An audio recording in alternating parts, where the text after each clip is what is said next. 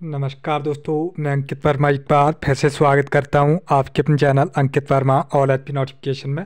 तो दोस्तों, जैसा कि आप थंबनेल पे देख ही चुके हैं, ताज़ा खबर ब्रेकिंग न्यूज़ आई है हिमाचल प्रदेश में। खाई में गिरी गाड़ी, दो, बारह लोग थे सवार। कहाँ की न्यूज़ है, क्या न्यूज़ है, चलिए जानकारी आपको इस वीडियो में देते हैं। तो देख सकते हैं, ताज़ा खबर ब्रेकिंग न्यूज़ आई शिमला से।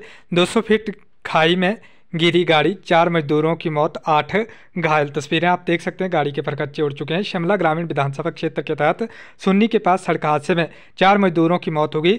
हादसा किंगल बसंतपुर सड़क पर डुमहर पंचायत क्षेत्र में पेश आया। बताया जा रहा है कि मजदूर मंडी से सुन्नी आ रहे थे। कट कढ़ारगढ़ कढ़ा कढ़ार घाट के पास गाड़ी अनियंत्रित होकर 200 फीट खाई में जा गिरी। हादसे में पिकअप के पर खच्चे उड़ गए गाड़ी में तेरह लोग सवार थे, तीन मजदूरों ने मौके पर ही दम तोड़ दिया।